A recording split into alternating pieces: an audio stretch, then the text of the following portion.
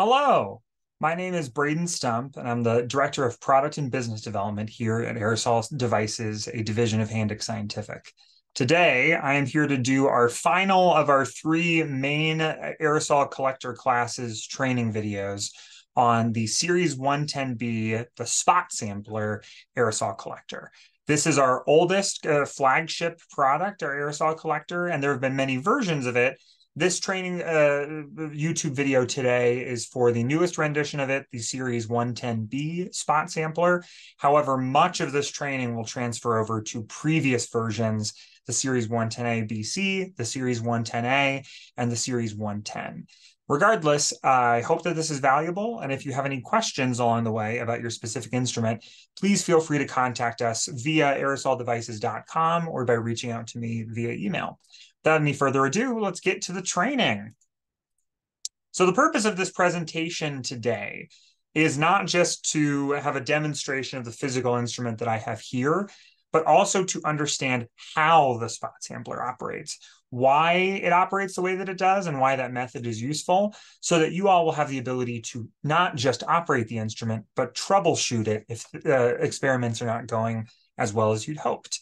Uh, so we are looking forward to having kind of an understanding of the instrument's operation and then going over how to actually run it during a sample.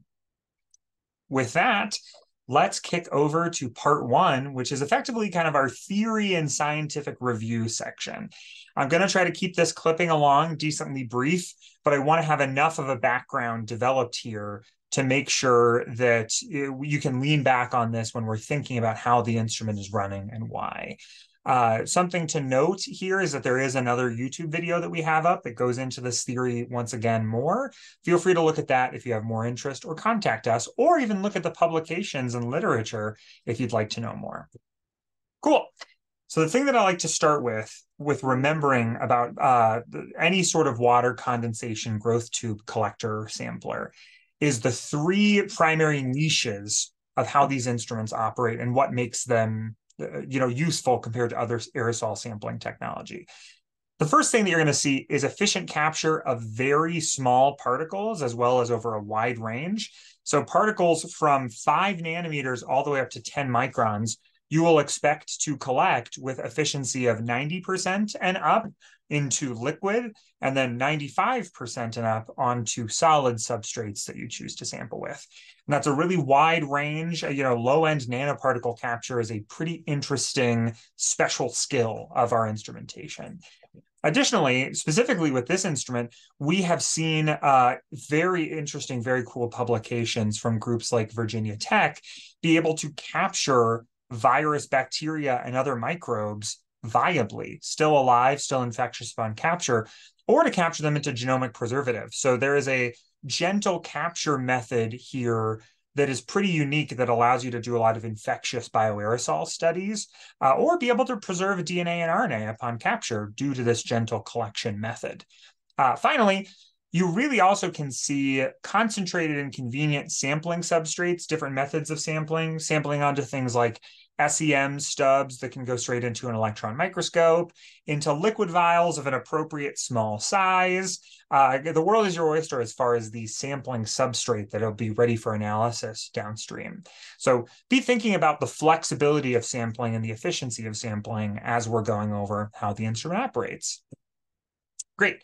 So the core theoretical technology at the center of the spot sampler is something called a water condensation growth tube collector or a CGT condensation growth tube. Uh, this central technology here was developed by Aerosol Dynamics, and we thank them quite a bit for us being able to license that technology for sampling aerosol of any kind. Uh, I'm going to skip to this next page here that I think helps be able to show the theory and show how this method works and why it captures things the way that it does. Uh, so effectively, when you are thinking about a water condensation growth tubes, the center engine of what allows the spot sampler to operate, you are thinking about three basic systems. You are thinking about a water injection system, so a wetted uh, wall here, a wetted wick here, uh, you know, keeping uh, effectively this wet on the inside of the flow path. You are thinking about an airflow system, So you're thinking about air coming through at laminar flow through this tube here that we call the growth tube. And finally, you're thinking about temperature changes. And those temperature changes go cold, hot, cold before sampling onto your sampling substrate. What this happens, you know, these three systems in combination, what they do together is they actually mimic uh, the human lung. Uh, what you are seeing happen here is as aerosol down to five nanometer comes into the growth tube and flows at laminar flow, this cold conditioner and this wet walled wick start to get you know the flow to a you know a set known temperature here. And it is the jump eh, the delta t actually this change in temperature this increase in temperature with this wet wall from the conditioner to the initiator section that effectively creates a fog here. You see extremely high supersaturation occurring in this region that forces condensation onto particles as small as five nanometers. And what that means is you're starting to grow these little raindrops in this growth tube that as they grow larger and larger and larger up to this three micron size, and if they're above that, they get water around them, but it doesn't matter as much, right? Uh, we can then very efficiently impact them inertially. So they're not able to round a corner effectively and be captured onto liquid or any surface below your nozzle here. Uh, specifically, what's nice is because you are just wanting to make sure that your jet to surface distance here is a certain amount, we are very much agnostic here at aerosol devices as to what is beneath the nozzle. So in your experimental setup, be thinking, you know, what would be most useful for me to have below the nozzle and what what can we sample onto, you know, filter substrate, liquid of any kind, genomic preservative, water. You know, we've seen people do glass slides, aluminum foil. Uh, the world is your oyster as long as you are able to get particles, you know, to hit it uh, downstream of the nozzle. Finally, you will also see this moderator stage here is here because if we went just from cold to hot, we would have this giant soupy, very much uh, you know, condensed high high water vapor flow entering our sample downstream. And we don't want too much condensation to create water and to create a mess down there. So the moderator, after this droplet nucleation has occurred, pulls a little bit of excess water vapor out of the flow its temperature is actually user settable and you know depending on what temperature you have it at does not really affect droplet growth appreciably to change your scientific effect of your sample. But it allows you to control liquid gain and loss in your liquid vial and to make sure that if you're sampling onto a solid substrate that you don't condense too much water in there and blow all of your water out. So you're maintaining a concentrated sample.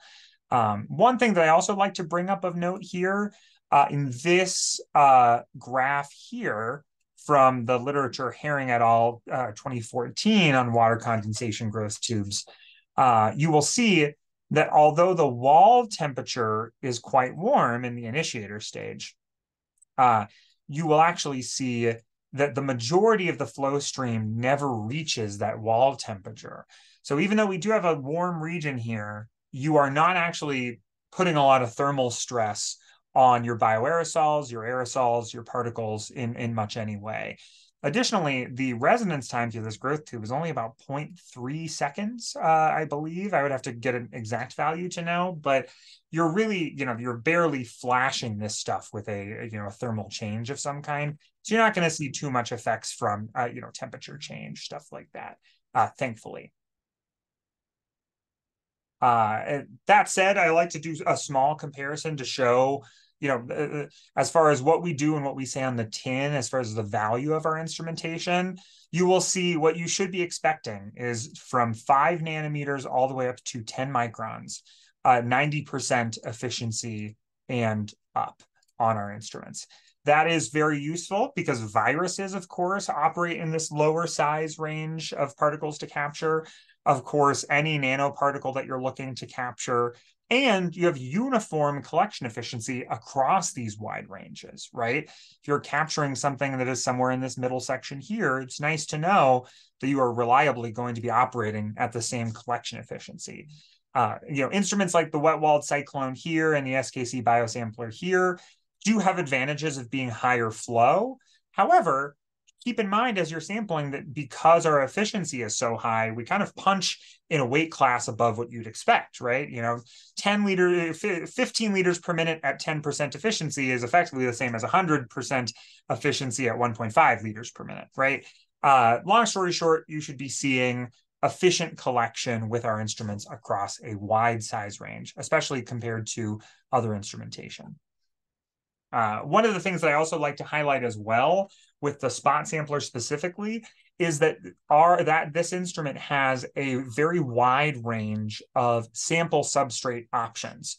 So you will see as kind of our one of our standard units, this sequential spot collection module, there is a time resolved 33 position well plate here that you can have be made out of PEEK, aluminum, or other, other substrates that you can place things like filter substrate, glass slides, uh, anything that you'd like to do for solid surface sampling. We don't like to say dry because you also can sample onto genomic preservative soaked filter substrate in these wells. But long story short, you have a great option for time resolved uh, sampling here for chemical analysis and biological analysis that maybe doesn't involve viability. Uh, additionally, you will see a liquid sampling module brought up here. Uh, this is for sampling into a known liquid volume that you start with in your sample of anywhere from about 300 to 700 microliters. These polycarbonate vials are very much nice and concentrated and are really nice to port downstream to methods like PCR, qPCR, other assays, stuff like that. I will note liquid sampling specifically is the most convenient method that we have found our users and uh, collaborators to use in a specifically viable bioaerosol sampling. Additionally, you will see that we have scanning electron microscope stub sampling module mounts for uh, this application as well. Um, these are this is more for you know people doing semiconductor industry stuff or microscopy stuff. Uh, this is also a time resolved. Oh, sorry, I dropped my SEM stub. I'll go grab that in a moment time resolved positions, uh, but with less positions with the option for larger and different substrates. I go grab that SEM stub for a moment so I can show it off again. Whoop. It seems to have gone missing. I will need to find it later. uh, but yeah, uh, uh, very much useful for the microscopy folks that are interested in the SEM stub collection. Additionally, I mean, this is pretty standard for all aerosol sample samplers, right? But we like to count, you can put cyclones on the inlet of this to cut certain high level particle sizes out to get more bang for your buck out of what sample collection you're doing.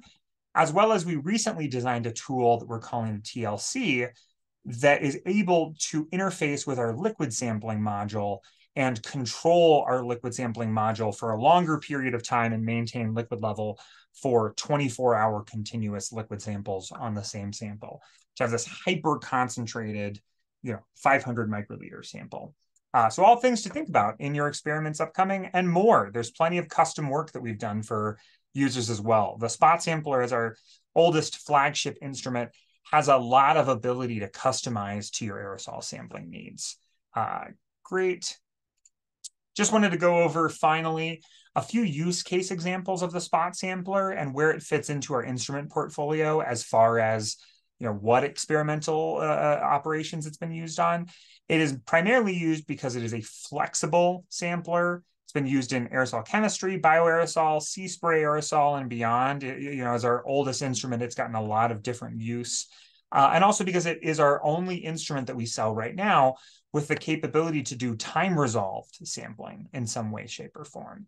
The instrument itself can operate at a flow rate of 1.2 to 1.5 liters per minute, with 1.5 liters per minute being the default. Uh, sampling surfaces we already discussed. Its size is about 20 inches by 12 inches by 10 inches, which we'll show in a bit. It's about 18 pounds, uh, and it is our flexible, time-resolved aerosol sampling instrument.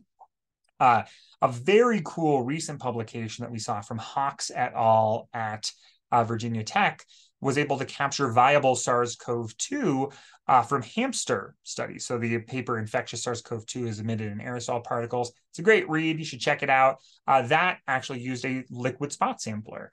Uh, we've also seen it be utilized at the Scripps Institution of Oceanography, so to be able to detect enzymes in sea spray aerosol. Um, then we've also seen plenty of aerosol chemistry studies. This is from Arantza at Aerosol Dynamics, uh, her actual characterization paper on the instrument itself. So it's been used for a lot of very cool different things. Awesome. Now we are on to part two, more of the fun stuff, how the spot sampler actually operates.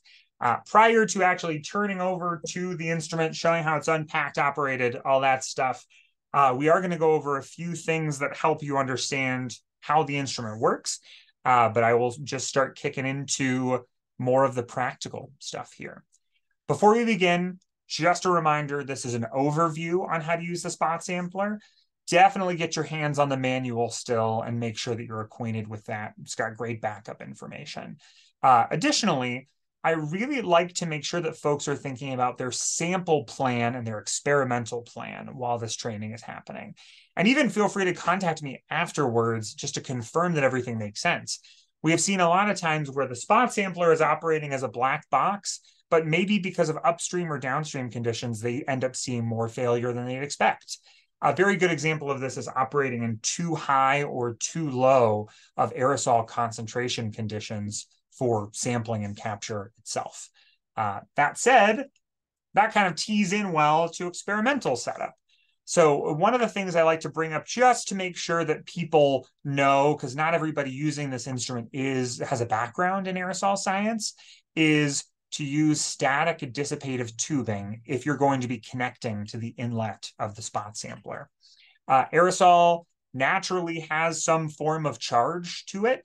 And if the tubing that you're using leading into the sampler is not static dissipative, it can build up charge along the walls and suck some random amount of aerosol to the walls. That's, of course, very worrisome, primarily because it's random error prior to the sampler even getting the aerosol in. So you have no idea what you have lost or how much you've lost. Uh, so definitely you're going to want to keep an eye out. You know, McMaster-Carr, these part numbers here are all static dissipative and work well. Feel free to reach out to aerosol devices if you need the right part number, uh, or you can use metal, so metal or conductive material. This also includes fittings. You kind of want the whole flow path of where your aerosol is coming from to the instrument to be conductive or static dissipative. If you're just sampling with the inlet normally, don't have to worry about this. Uh, and then the final thing to note on this is that the inlet of the instrument is six millimeter OD, uh, which means you can buy six millimeter ID tubing, uh, or you can also, I believe it's 3 16ths ID tubing works pretty well because uh, a quarter inch tubing is a little bit uh, loose because a quarter inch is 6.35 millimeters, and you want to make sure that you have a tight fit on the inlet of your instrument. Um, but yeah, uh, feel free to reach out to us on you know flow, hookup, setup, stuff like that. Uh, but it's really important that your experimental setup is able to meet the needs of your instrumentation.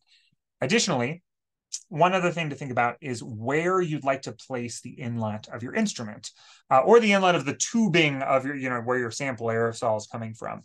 Let's say, you know, you're, you've got your spot sampler here and you have a patient here that you're looking to capture bioaerosol from.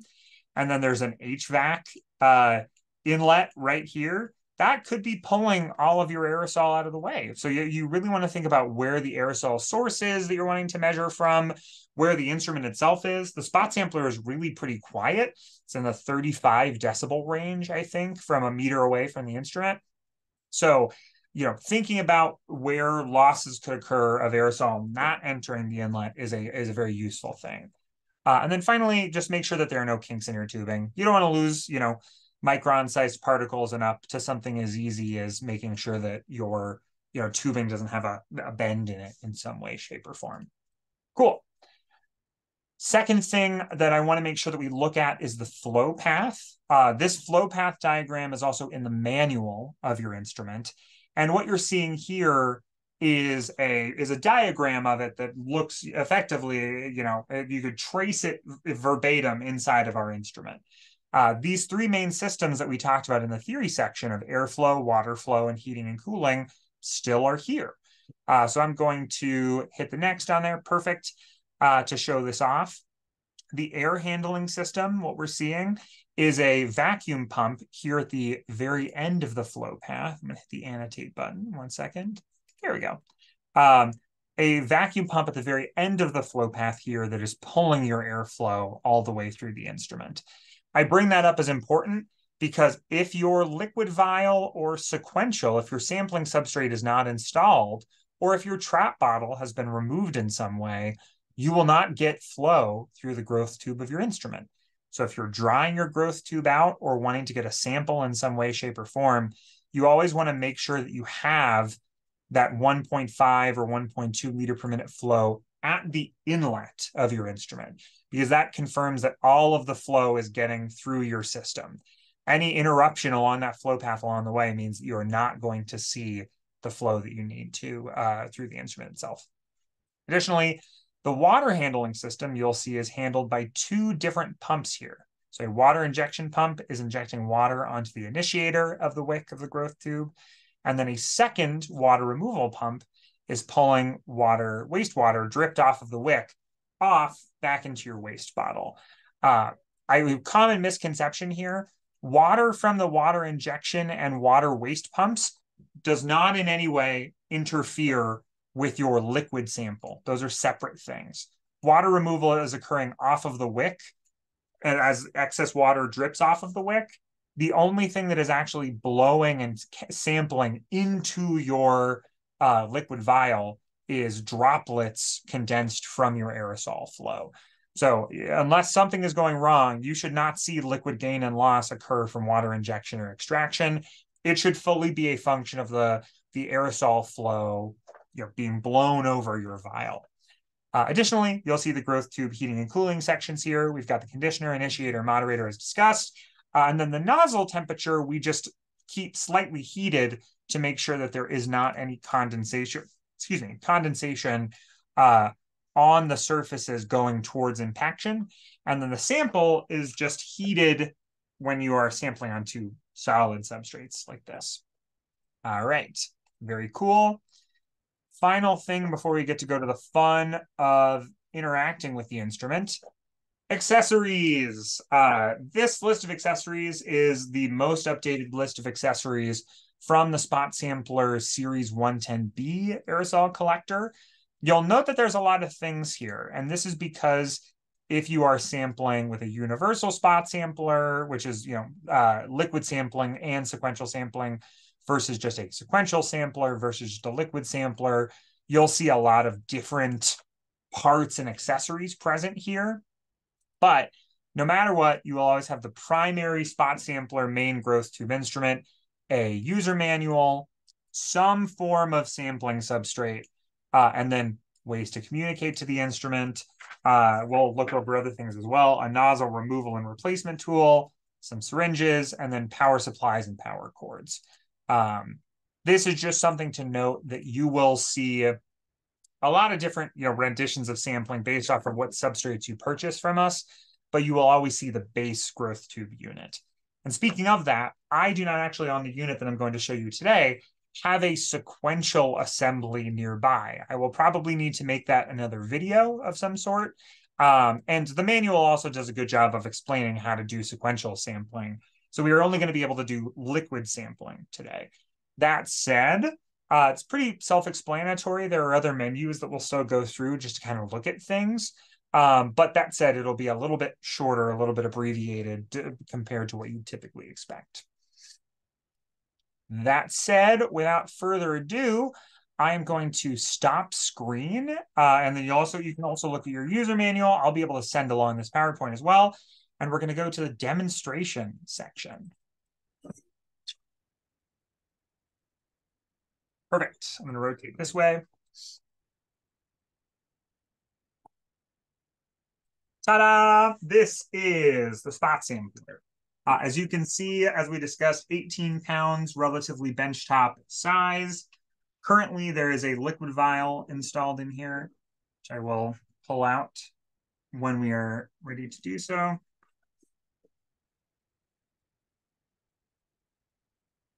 For one moment. Got a little dry in there, so it's stuck.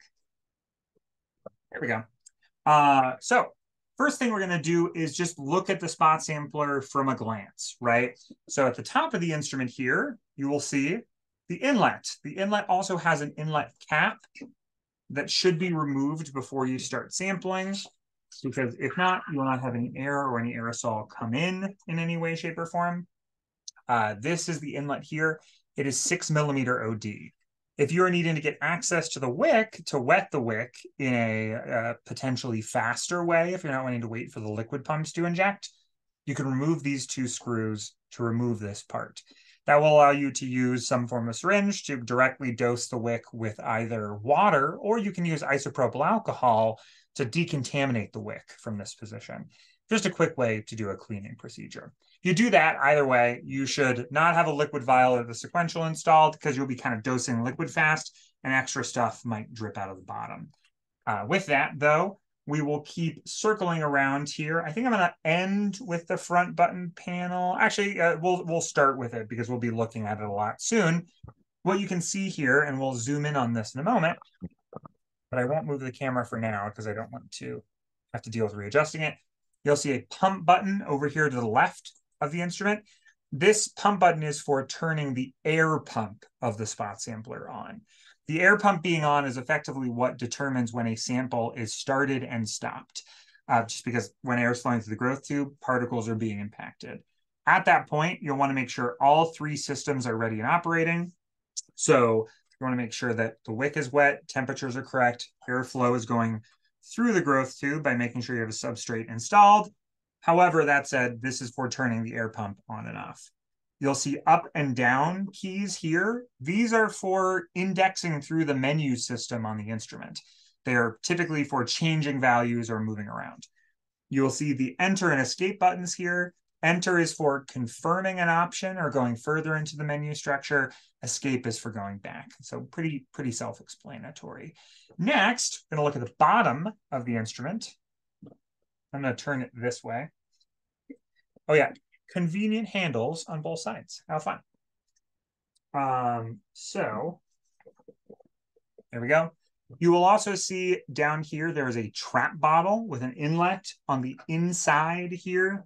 I'll rotate that a little bit. Inlet facing the inside of the instrument. The trap bottle, as we saw in the flow path area, is right after sampling into this liquid vial occurs. The point of it is to, if there's any liquid in here, that means that sample has overflowed from your liquid vial sample and is being blown out into the trap bottle itself. It's a protective measure for the orifices, etc., inside of the spot samplers further down flow path. If you see liquid in here, something has gone wrong. It is a nice indication of error in the system. Additionally, you will see, and I lift this up as well. Ugh. Perfect the nozzle sampling section uh, here at the bottom of the instrument. I will, whoop, you'll see that there are one, two, and three threaded holes to attach the sequential of the spot sampler onto and in place if you are using the sequential. We are not going to be using the sequential today, but it's worth noting, as well as right here, this is where your nozzle goes into the instrument. Since I've got this angled like this, I just want to be able to show it so that I don't have to show it later. Your instrument comes with a tool that allows you to unscrew and screw back in different nozzles for sampling on the instrument. Uh, for sampling,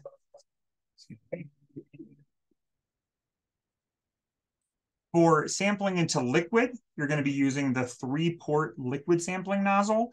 And for sampling onto solid substrates, you're going to be using the singular jet solid sampling nozzle. They are labeled in your accessories, but it's worth keeping track of. Uh, so I'm going to make sure that that's tightened again. I didn't mess with it, but I like making sure. Tighten, tighten, tighten. Great. That is also where your vial is installed.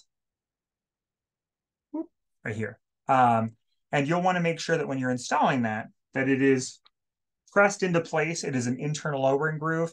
If you're having trouble getting it installed so that it's parallel and flush with the bottom of the instrument, you can put a little bit of grease of some kind that's you know non-outgassing for whatever application you're using. So uh, you know Vaseline is fine. Isopropyl alcohol, water, all help. to help install and kind of wear that O-ring in. Uh, but dealer's choice. Uh, this is actually where the growth tube itself is. We'll turn all the way around. And finally, the back of the instrument. So on the instrument itself, you will see the supply water bottle. This can be opened at the top and you'll be filling this with distilled water, deionized water, uh, ultra pure water, anything cleaner than tap to make sure that we're not damaging our wick material in the instrument over time. This silver goes to silver. And it clicks into place. If you're ever needing to remove it, press the button, make sure that that's pressed down to reinstall it. Additionally, this is your wastewater bottle. turn this this way.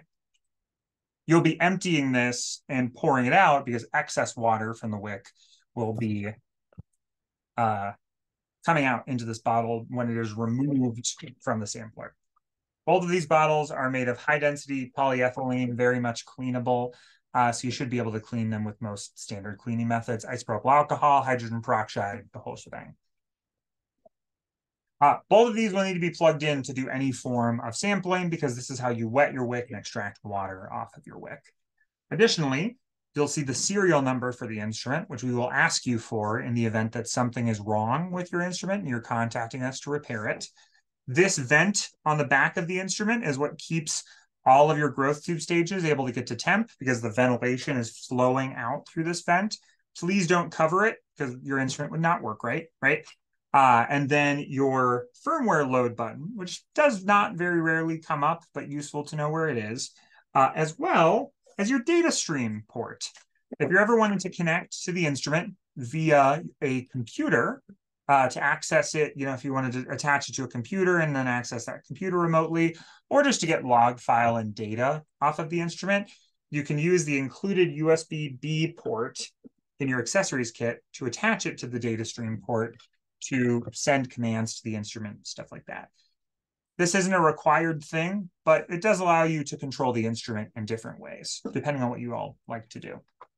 Additionally, you will see here, this is the port that you attach the two cables coming out of the sequential. If I had a sequential for time resolved rotating uh, solid sampling, I would show you how those are plugged in. They're just quarter turn uh, connections, but I don't currently have one on hand. Uh, additionally, this is the pump exhaust port. This pump exhaust port is the same as these uh, ports up here. We also include in our accessories kit something that you can click onto here to run the pump exhaust of your system somewhere else. If you want to run it into a bio hood, through a HEPA filter, back out into the atmosphere, whatever you're looking to do. Uh, the system already does have it is heavily filtered prior to coming out of the system. Uh, it's filtered twice, I believe. However, we do uh, understand that people like to be able to run that uh, exhaust somewhere else, so that is what we do. Uh, additionally, you will finally see on the back here the on and off switch. Up is on, one is on, down is zero, of course, and the power plug-in, the power inlet port.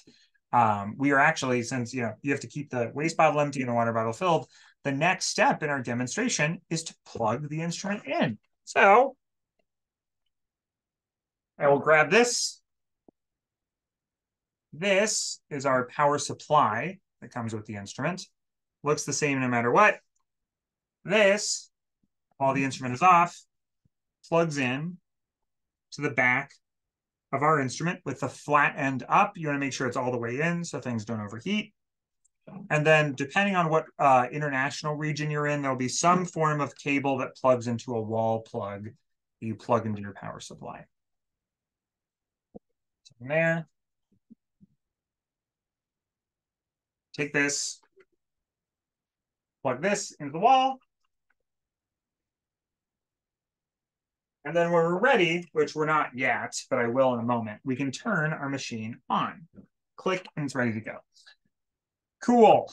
Uh, prior to doing that, I did want to talk about different sampling media that you can use in the instrument, uh, just so that you get an idea of what you can be sampling into.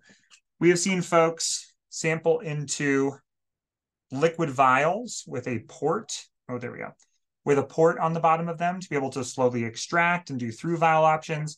We now offer the ability to do a vial with a port on the side to kind of create a flow through scenario.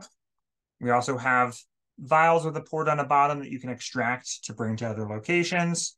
And we have these closed 300 to 700 microliter vials that you can use just for pulling out a sample, pipetting from it, and then you know pipetting more liquid in, taking a sample, pipetting it out. Uh, we've recently developed the tool called this TLC, which I've talked about, that can have this single liquid vial whoa, run for 24 continuous hours for a very concentrated aerosol sample. So you can contact aerosol devices for more information on that. Additionally, I like to show off that we have different options for our sampling well plates. Uh, you can see this is an example. There's a TEM grid in here. There's filter substrate in here. Uh, you can also, see, you know, if you really look close, you can see depositions in the wells that are about one millimeter in diameter, about the size of our solid depositions on the instrument. Um, or aluminum material. The last one was made of PEEK. Uh, I also like to show off, we've recently started making these teardrop uh, wells here. And the purpose of these is to make it easier to extract filter substrate from out of the time resolved wells, just so you can get a set of tweezers in there and pop stuff out. Um, they both function the same way. They both fit into the standard sequential. You will need a separate sequential for this, and I wish I had a 25 millimeter SEM stub, but our SEM stub sampling setup here can fit five 25 millimeter SEM stubs or five, you know, other SEM stubs of smaller size. As you can see, I have a smaller one in place because the SEM stub that I was, oh, here it is. Uh, or, here we go. There is a 25 millimeter SEM stub installed right there with a little tool here that this sits on that allows you to pop it out with a set of you know tweezers and stuff to get this into a scanning electron microscope. Uh, you can also install up to one millimeter thick of uh, substrate onto the top of this, or you can purchase clean room spec substrate from us as well. Um, long story short, lots of things to sample onto. People have sampled into uh, phosphate buffered saline with bovine albumin. They've sampled into artificial saliva, um, genomic preservative, uh, water, onto pre-cut filter substrate, membrane filter, uh, glass slides, aluminum foil, TEM grid, SEM stubs, anything that you want to put under the nozzle as an option for your experiment. So we're ready to help as need be. The next thing that I'm going to go over is the growth tube and wick we have already shown in here. Um, we will talk more about it. It is rolled filter material, so it's not often replaced, and it's very cleanable. Uh, so you'll just want to make sure to clean it over time uh, and we'll start moving towards operating the instrument. So I will turn the switch on the back. I'm going to grab this connection from my camera. I apologize in advance. It's going to be a little shaky, but I want to be able to show stuff on the screen as time moves forward. So the first screen that you will see after the instrument turns on is effectively kind of a splash starting page. So you'll see liquid spot here. That means it knows that it does not have a sequential installed right now. It knows that it's warming up. And what these ones and zeros mean is that the stages here have reached their set temperatures or not. The zero means they have not reached their temperatures. The one means that they have. Uh, this is the time that it believes that it is. Uh, your time should be set before the instrument leaves, and we can hit the enter button to enter the menu to change settings on the instrument. The first menu you will see here, if we hit enter on it, is the status menu. This is the area that I like to be when I am running an aerosol sample when I am not changing settings. Gives me a lot of nice information. Shows me the conditioner stages temperature, initiator stages temperature, moderator, the nozzle. The sample temperature is not active because there is not a sequential installed right now. A stands for the ambient temperature or the case temperature. And it doesn't need to be at a set temperature, but it's an indicator of how warm it is inside your instrument. F is your flow rate in liters per minute. So if I press the pump button here, which turns the air pump on, it should start to increase as we see here and show that the airflow is going to start controlling to the nominal 1.5 liters per minute. You can see also that this says on in the top right-hand corner. That tells you that the air pump is on. As a reminder, this does not tell us what the inlet flow is. It just tells us what the flow through the pump and airflow path is. So for example, because we do not have a vial installed right now, inlet at the airflow, uh, uh, airflow at the inlet, excuse me, is still zero liters per minute. And it's not until we install a liquid vial in here that the airflow at the inlet would be one and a half liters per minute. So I'll turn the pump off and we'll hit the escape button to look at other menus. The next menu you will see here is flow. We'll hit the down button and then we'll hit the enter button to look at it.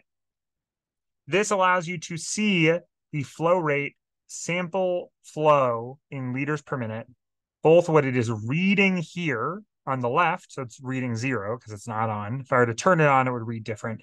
And also what our set flow rate in liters per minute is right now. If you want to change it, you can hit the down button to decrease it anywhere from 1.2 to 1.5 liters per minute. I like 1.5 liters per minute, so I will not be changing it. But if you were to hit enter here, a star would appear next to this value. I'll just show it off and then start the sampling pump from there. Um, I want the flow rate to be 1.5. Sometimes the buttons do a little movement past where they need to be. It can help to just tap the button quickly. Um, that said, we now are back at 1.5 liters per minute as the confirmed value. The star means that it's confirmed. Great. On to the temperature section. So you can see what you are seeing in degrees Celsius is the actual temperature uh, that the instrument is reading. And then when you hit enter, it allows you to set the temperature of that stage. So when we're not entered in, you can see the actual temp of the conditioner is 14C. When we hit enter and you see two arrows, you can show the set temp on the conditioner is 5C right now. The initiator set temp is 35C right now. Moderator set to 8. Nozzle set to 29. Sample set to 35 when it is installed. Um, so one of the things we'll talk about right now as a small aside is what temperatures to have your spot sampler at.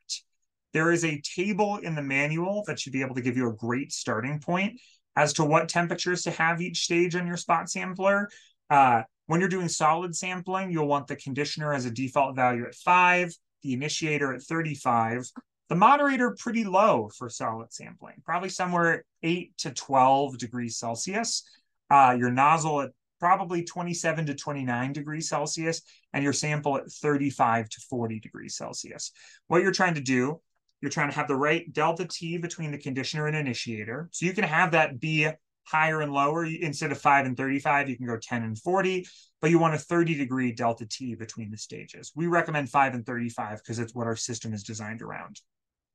The moderator, we want lower to pull more water vapor out of our airflow prior to sampling onto the solid substrate to keep our samples dry for solid sampling. If you are okay with having a little bit more water vapor in your sample, say you're sampling onto genomic preservative uh, soaked filter substrate, then that moderator temp can be higher if you so choose. Uh, the nozzle, we're just trying to keep uh, condensation from forming on that surface. So anything above ambient is great. 27 to 29 is about the sweet spot for making sure that you aren't uh, evaporating your droplets too much, but you're also not getting condensation on your surfaces. Uh, the sample temp is meant to heat localized your area where you are sampling to make sure that water from your droplets contacts the surface and then evaporates away. So 35 to 40 C is what we found to make sure that you are getting a high quality sample that evaporates uh, any extra water on impact. For liquid sampling, however, you are trying to do something different entirely. Your for liquid sampling, your delta T needs to be larger to have efficient impaction. So you'll need a, a conditioner of 5C and an initiator of 40C. So a 35 degrees C Celsius range on liquid sampling. And that default is shown on liquid sampling when you're doing it. This instrument is going to be going out as a sequential spot sampler, although the sequential is not yet ready. So that's why it's at 35, but liquid sampling is 5 and 40. On the moderator, you probably want the moderator somewhere between 10 and 20 degrees Celsius. For liquid sampling, you're not having to worry about too much condensation of liquid into your sample. You're more worried about evaporation from your liquid sample. There's something we'll talk more about later. The nozzle temperature stays the same, and the sample temperature is not utilized on the instrument uh, in the same way as before. Uh, that said, the TLC that you can buy that adds onto the bottom of the instrument and controls the liquid level of the vial does create a sample temperature under there. So that is temperatures.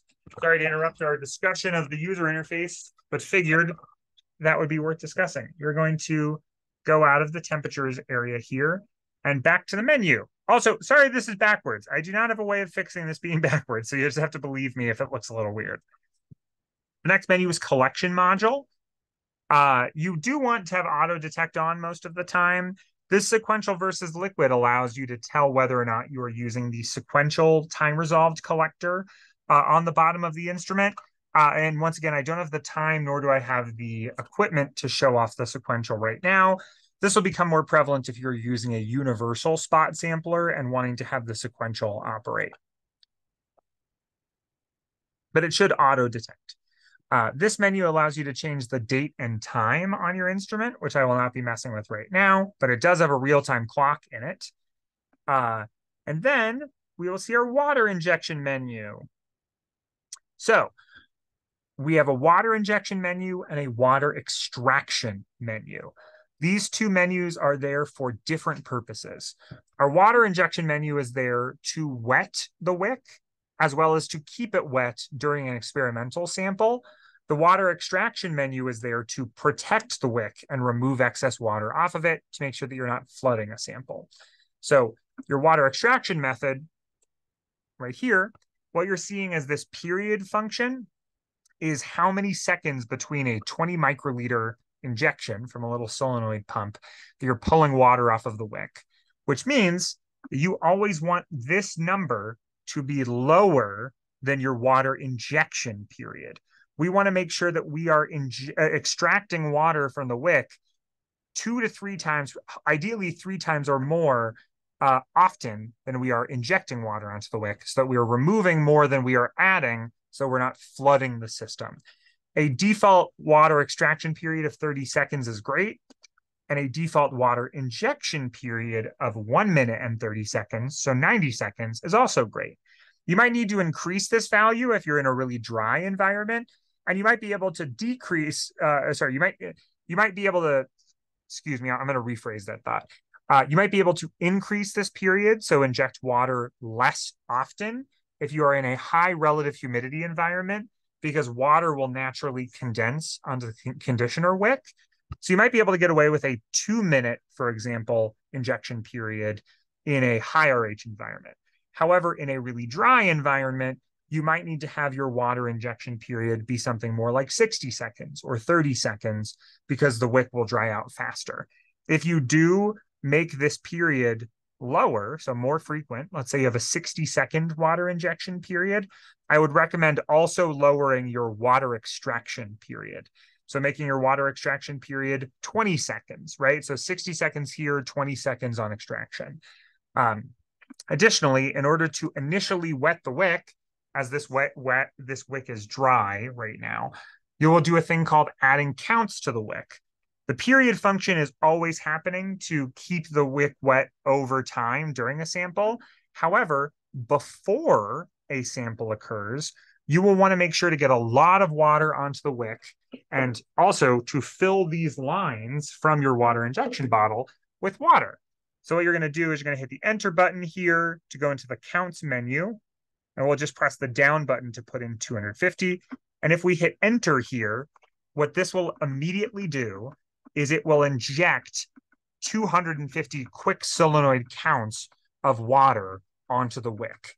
Uh, what that means, sorry, I'm going to hit escape on that. That's a little bit uh, distracting. My apologies.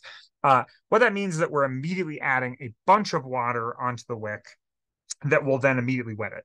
Uh, typically, you'll need about 500 counts. So you'll need to go through this 250 injection period here, sorry, count here twice uh, to fully wet the wick.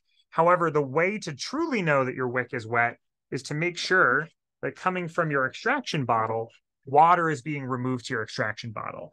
The primary reason for that is that if water is being pulled out to your extraction bottle, the wick is saturated enough to drip excess water off of it into the extraction path. Great.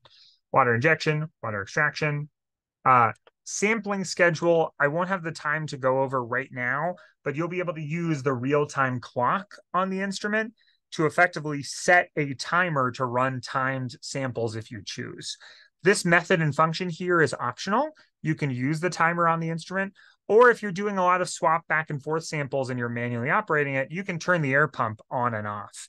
So it's up to you whether you would like to have to manually turn the instrument's pump off or to be able to set a sample of a certain number of hours and minutes here and time it and arm it, etc. But I don't have the time to show that right now. Manual well advance is for the sequential of the instrument, allowing you to directly go to a certain well of the sequential. So this time resolved well right here. Uh, sorry. Uh, and then find home is a very useful thing that allows you to rehome and effectively calibrate the sequential on your instruments. An important thing to do to make sure you're actually sampling in the right well before you begin your samples. The final thing that we are going to show off here is drain and dry. But prior to that, I just wanted to show airflow verification on the instrument. As long as you have a vial installed here or a sequential installed here, so this airflow path is getting all the way to here, the top of your instrument, you should be seeing airflow at the inlet. However, for folks that want to, you might want to confirm or verify exactly what your airflow is.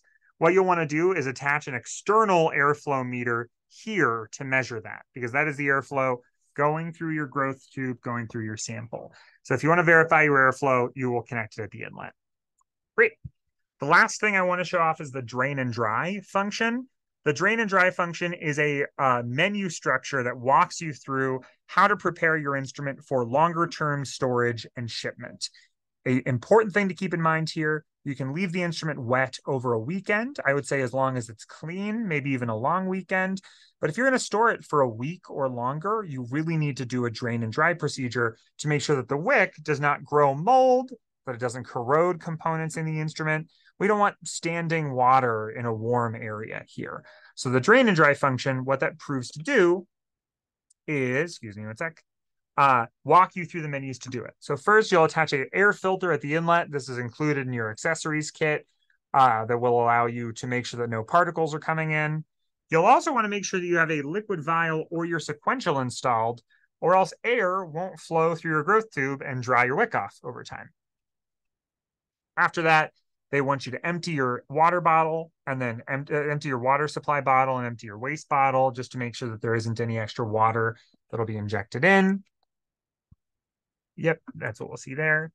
And then after that, the system will clear the lines of the instrument out to make sure that there's no water in the lines. After this, oh yeah, we'll have to wait. Dry not completed because I hit the enter button. Sorry about that.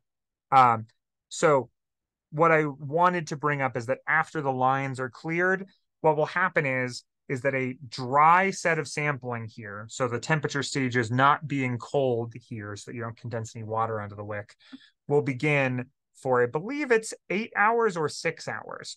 And the reason for that is that we want to dry this out quite a bit.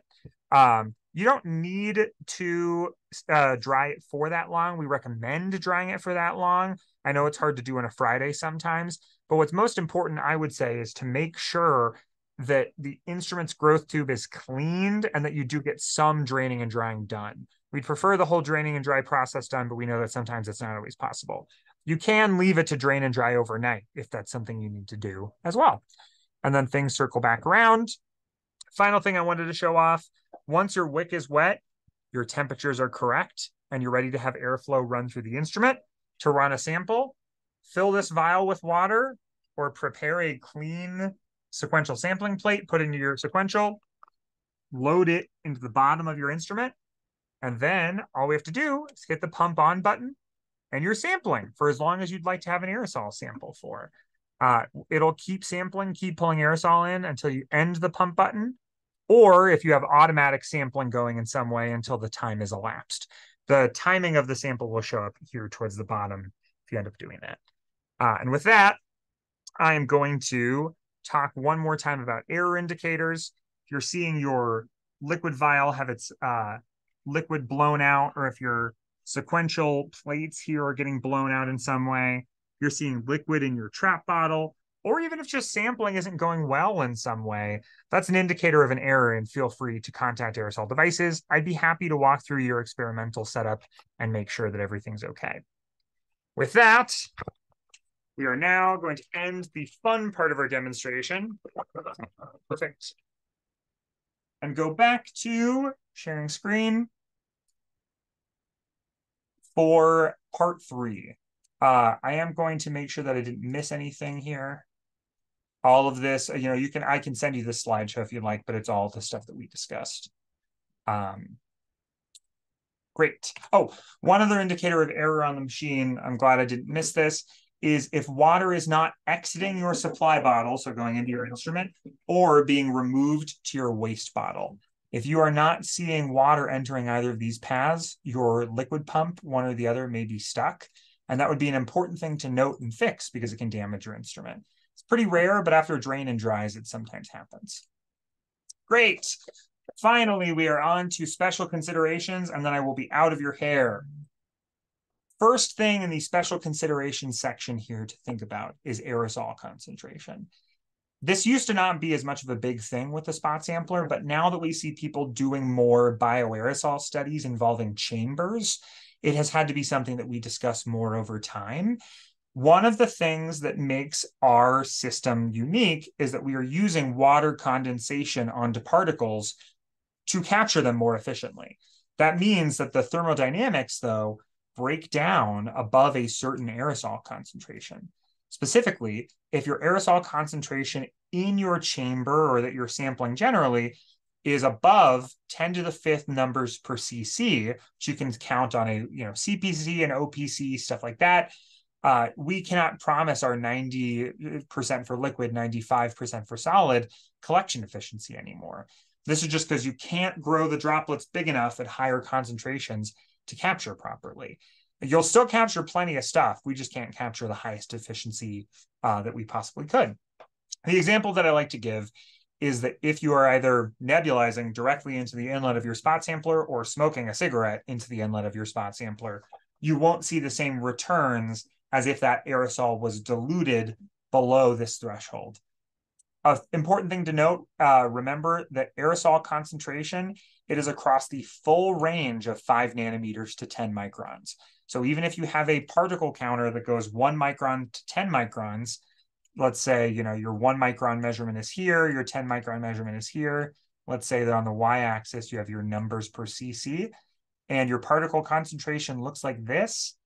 If you only have a tool that measures in this range down to this five nanometer section, you might have more particles that you're not seeing that are influencing what your actual aerosol concentration is for the sampler to work properly. So if you're having trouble, I mean, hospital room studies, you know, uh, ambient sampling studies, any ambient sampling, very unlikely that you'd be above 10 to the fifth. But for chamber studies, this is something to wonder about and talk to me about if needed. Great. Additionally, viability in bi bioaerosol sampling is a very cool new upcoming trend of capture. One of the things to note is that it is more difficult than standard bioaerosol sampling. A lot of things have to go right. Your limits of detection are different. You're sampling into liquid uh, you, you know, you'll want to look at successful papers that have sampled sampled viably to understand, you know, how you might capture your certain bioaerosol. Um, so feel free to reach out. Feel free to look at uh, other literature, look at the aerosol devices references page on our website, uh, and we'd be happy to help to make sure that we can make your experiments as successful as possible. Cool. Uh, the second to last thing that we'll be talking about is liquid level change during sampling. So with the spot sampler, you are sampling into a nominal 500 microliter vial. It's a pretty small amount. And if you're spending, uh, you know, over two hours sampling into the same liquid sample, which a lot of people want to do to have a concentrated sample, you can start to see gain and loss of water in your vial. Uh, keep in mind that's a function of concentration of aerosol, length of sample, volume of liquid sample you'd like to maintain. So I want to go over briefly how to maintain that in a liquid sample. Uh, keep in mind, this is not a problem if you have the TLC. The TLC automatic controller does this for you.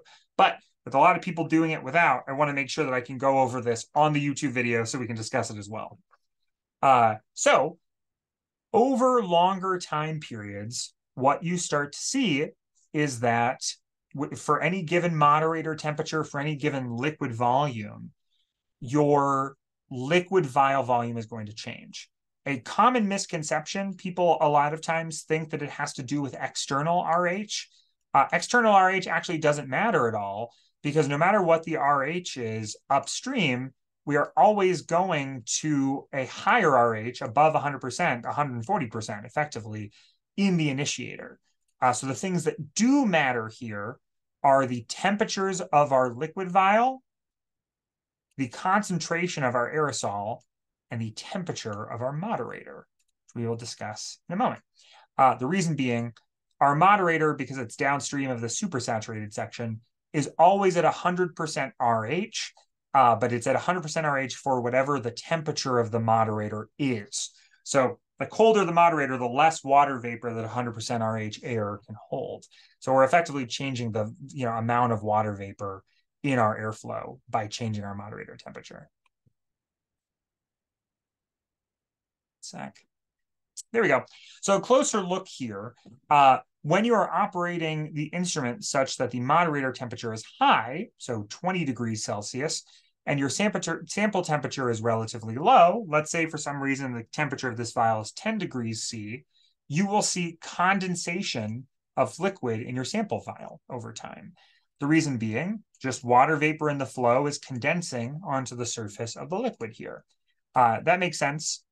And that is also, uh, you know, agnostic of the aerosol concentration coming in. It's just the thermodynamics, right? Water vapor warm water vapor, a lot of water vapor here contacting a cold liquid surface.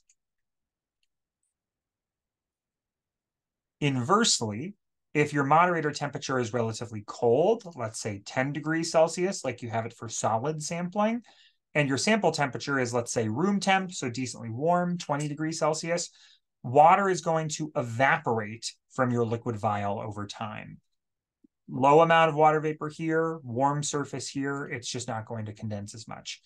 Uh, and what that means is that you can control your moderator temperature. Uh, since we can't control the temperature of this liquid vial, it's effectively whatever room temp is, right? Uh, we can control the temperature of our moderator to control liquid gain loss in the vial. However, there is one other uh, question mark looming over this, keeping it from being perfectly simple which is the concentration of aerosol. Since we are growing particles in the air into droplets, we are adding water volume via these little raindrops falling into the sample as well. So high concentration aerosol being sampled is going to produce more water in your liquid sample than low concentration aerosol is.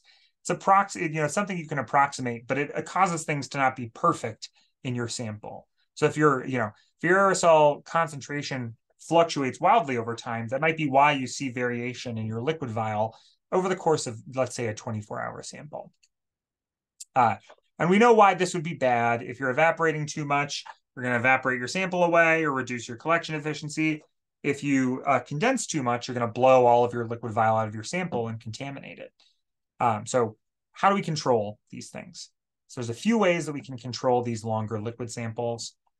One is to set our moderator temperature appropriately by putting a filter on the inlet and seeing what our effectively gain loss of liquid is while removing, while controlling our experiment to not have liquid drops come in. Uh, that allows you to get your moderator into the right ballpark range for liquid sampling, 18 to 20 C. However, it isn't going to be perfect because once you have uh, you know particles coming in creating droplets, you might need to adjust your moderator down as well. And at some point, you know, this becomes more art than science, dialing in your moderator temperature just right, starting with a large volume and kind of evaporating it down or condensing it up from a small volume is pretty tough, which is why we built the automatic controller.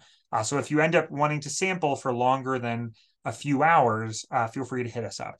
Uh, just a small reminder, you do not need to worry about this if you're sampling for five to 10 minutes at a time uh, and you're hitting your limited detection, right? It's only if you're sampling for a longer period of time and you're seeing this gain loss in a liquid sample. Cool. Final section. I will try to keep it quick. Growth tube decontamination. Uh, so as the spot sampler has been used for more and more bioaerosol sampling experiments, we've wanted to make sure to bring up how to properly decontaminate the spot sampler to make sure that it is you know, properly keeping people safe and providing high integrity samples. So these spot samplers materials are pretty chemically compatible. They have been designed that way from the get-go. Um, specifically, vaporized hydrogen peroxide. I, at one point, uh, when we were designing the next round of this, I talked to uh, some companies that make VHP systems and made sure that our materials were as compliant as they could be. So materials like acetal plastic, aluminum, polyurethane, stainless steel, polycarbonate, Viton, polystyrene, uh, in our experience so far, all of the uh, cleaning chemicals that I'm going to recommend to you pass extremely well. Uh, and then if you need, you know, more um, boutique options, you can also uh, contact us as well. So 70% to 100% isopropyl alcohol, methanol, and ethanol, totally fine, totally perfect to use in the system. Vaporized hydrogen peroxide, as well as if you flush it out with water afterwards, 3% uh, to 5% hydrogen peroxide is fine. Uh, and for the stainless steel parts, so the nozzles, the inlet, uh, the vials, you can also remove those and autoclave them, sonicate them, and use more aggressive cleaners as you see fit. Uh, we know that it's not a one-stop shop for decontamination. Um, so as far as determining the frequency that you clean your instrument, that is always a question that I get. And the problem is, is that it is partially a function of how you use the instrument and what it's coming into contact with. If you are sampling in an environment that you're, you know, an aerosol chemist or an atmospheric scientist, you honestly very rarely need to clean the spot sampler. The wick itself, as long as you're, you know, isopropyl cleaning every once in a while, you're draining and drying the instrument out, it's serving its intended purpose for your team. Uh, but if you're sampling SARS-CoV-2 or pertussis or other things like that, that is when this becomes more of a much more crucial process. Um, so the first thing I'd like to talk about is the path that cleaning needs to happen the most and also the path for cross contamination. So as we want to protect people and then we also don't want to contaminate our next sample down the line. Uh, and you think about it, samples go, uh, you know, a uh, aerosol you bring in goes from the inlet, it's turned into a droplet, boop, and is sampled into your sequential or vial. So your path here for cross contamination is from the inlet to your sampling substrate. Past that, you don't have to worry about cross contamination because you're removing liquid here, your water is clean coming in, and your air is being pulled out via vacuum. Uh, so that area, the growth tube, you will either want to put isopropyl alcohol or other cleaners into your water supply bottle and use the count function to inject those in. So 500 counts of your cleaning fluid. Uh, you'll then want to flush with double the amount of water if you do that. Uh, so we'll say, you know, 250 uh, uh, mLs, no, sorry, 250 injections of uh, isopropanol here, and then 500 injections of water uh, would be a good way to clean things out. Another way to do it would be to, as we talked about before, remove the inlet and then just directly dose three milliliters of your cleaning fluid onto the wick so you can get it from the top. Uh, and then double, always clean with double the amount of water afterwards. You just want to flush any of the cleaning material out afterwards. Um, then after that, you would empty, of course, and clean your water waste bottle. The trap bottle can be removed for cleaning. Uh, but one of the things we like to talk about is that since your, I'm going to skip ahead two slides sense your flow path here where air goes through. Uh, you know, you're capturing your particles here. There's a trap bottle here capturing excess liquid that you can clean and a filter catching all remaining particles. you do not want to run any liquid cleaner through the remainder of the flow path. It is not meant to take any additional liquid cleaner. So the system itself, what you're really cleaning is the liquid wetted paths here. Uh, and then, of course, any external surfaces. Um, and that's your, your best odds here of making sure that you are not causing any uh, contamination or cross-contamination. Uh, that said, here we go. Um, the way to determine your frequency of cleaning, in, in my opinion, is to run the amount of bioaerosol samples or aerosol samples that you want to run, and then put a filter on the inlet of your instrument and run a blank. This means you have no incoming particles in place, and you can sample into your preferred substrate. And as long as your sample substrate comes back with a control, no particles on your microscopy substrate or in your sampling well or in your liquid vial, it doesn't show up for you know your limited detection for bioaerosol capture, you know that you're not seeing cross contamination in some regard. Uh, so typically for chamber studies where there's high volumes of sampling, I typically tell people to clean their wicks at the end of a day of sampling, just to leave it clean overnight. At the latest, cleaning at the end of a week of sampling. And then for people doing ambient field studies, typically cleaning at the end of a week of sampling uh, so that it stays clean over the weekend and that you might be draining and drying it after that. Or at the most, if you're not really doing bioaerosol stuff, uh, running isopropyl at the end of a month of operating the instrument. But definitely before storing it, definitely before shipping it, you want to clean it and then operate a drain and dry uh, on the instrument itself. Uh, additionally, cleaning the outside of the case, alcohol, VHP, uh, you know, your preferred cleaning material, wipe will work fine. The outsides of these instruments are made of epoxy coated metal, so you shouldn't be able to worry too much about it. Um, generally, though, even for the stuff that I didn't cover, please feel free to contact Aerosol Devices and myself with any concerns about a cleaning chemical or safety or anything you want to work with in decontaminating your instrument. Finally, we are done. This is the outro. Um, please do not hesitate to contact us if you have questions about this video, operation of your instrument, or anything else about aerosol devices uh, instrumentation. My job is to make sure that all of you that are using the instruments are as successful as you possibly be, uh, can possibly be. And I believe in these instruments and being able to do what they say on the tin. And if they aren't doing that, I want to be able to help. So please feel free to reach out. I hope this video was useful today and reach out if you have any questions. And best of luck in sampling. Uh, you all are the future of great science happening, and Aerosol Devices is happy to be a part of it. So thank you very much, and have a good rest of your day.